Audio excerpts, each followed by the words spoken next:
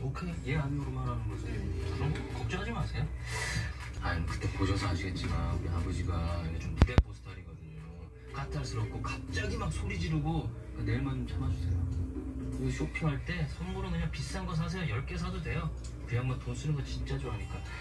아 이게 이게 새엄마가 복병인데 아니 뭐 쇼핑 시작하면 정신 팔려가지고 혜주씨한테 신경도 안쓸 테니까 그럼 걱정 안 해도 될 것 같고. 내일은 그냥 우리 아버지만 딱 신경 쓰시면 될 것 같아요. 응 오케이 오케이 오케이.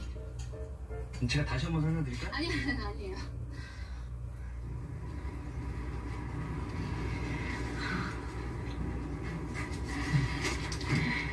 소장님 오셨어요? 음.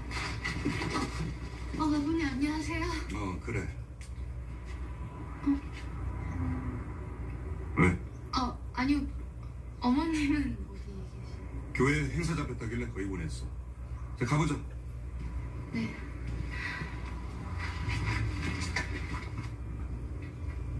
왜? 마음에 드는 게 없냐? 아니요. 다 너무 예쁜데 제가 이걸 신고 어딜 가야 되나 싶기도 하고. 아, 전복 어떠세요? 음. 뭐 색깔이 좋네 뭐. 이걸로 줘요. 네, 준비해드릴게요. 하나 더 해.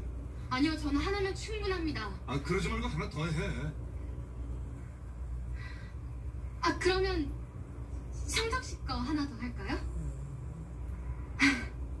나 막기자. 나 점심 먹고 들어갈 테니까 좀 이따 전화 그쪽으로 와. 음 그래.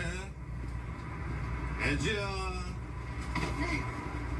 근처에 도가니탕 아주 제대로 하나 돼 있는데 같이 가. 아, 도- 도가니, 도가니 좋아합니다. 가자. 네. 아버님! 가보자 가보자 여기가 여기 맞아 왜 간판이 없어 아우 고향의 냄새 어마어마한 장독대 아휴 또 일단 내리는가 보자 보자 어딨냐 아, 아, 어, 왔어. 어? 어? 찾는데 힘들진 않았지. 아 예. 나 여기 잠깐만 치우고 올 테니까 거기 잠깐만 앉아있어. 어 거기